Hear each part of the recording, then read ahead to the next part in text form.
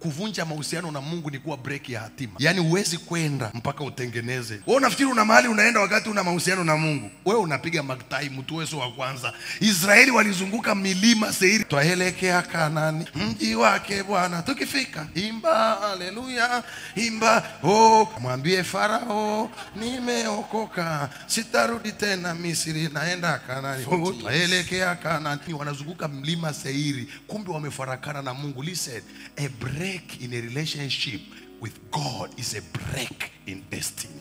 Na ndio maana ukiona umevuruga na mungu mtengeneze. We mtafute tu. Jichimbie mahali. I'm telling you mungu ni wa rehema anakupenda.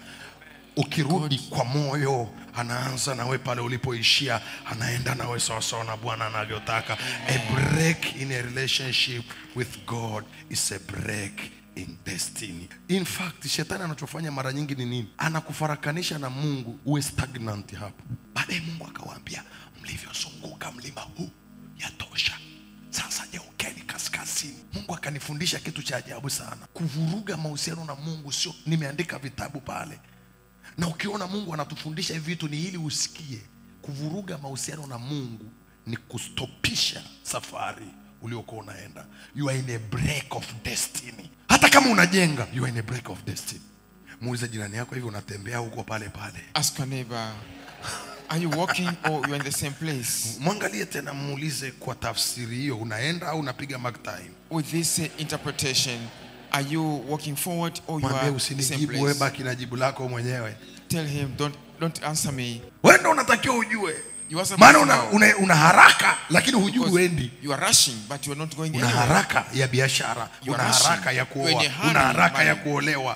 Wakati hatima imesimama. But the destiny is at a standstill. moja ya kitu mungu alinifundisha One of the things God taught me, na imenisaidia sana kihuduma. and has helped me in the ministry, haimaanishi hatukosei sisi tunakosea does not mean that we are not uh, making mistakes. tu siri But I want to give a secret. moja ya siri ya maisha yangu One of the secret of my life, najua umuhimu wa mahusiano na I know the importance of relationship with God. that I know Hiyo nafahamu. that I know Hiyo nafahamu. na shetani anajua And. Satan knows. I, a break in a relationship with God Najua kuvunja mahusiano na Mungu it's a break in destiny ni kuvunjika kwa hamna hatima. mahali unaenda. Kwa sababu yeye ndo anakuongoza yeye ndo anakufikisha.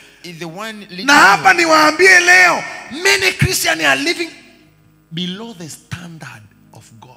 Viwango vya maisha wanavyoviishi sio vile mungu alivyokusudia. Siku mungu akikuonyesha alivyokusudia we utembee. Utamtafuta shetani na, mwi- na mundu. Unafahamu mundu? Umng'oe masikio yake. Unanifanya nitembee na miguu wakati nitakiwa nikae kwenye v8 kichwa chako umenisababisha nimefeli form 4 wakati mimi ndo ningetakiwa niwe profesa what nonsense is this? Mm -hmm. many christians are living below god's standard. And they think that they are fine.